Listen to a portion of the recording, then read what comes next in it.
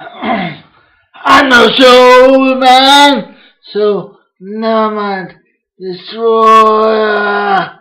Goodbye. Take care of yourself, guys.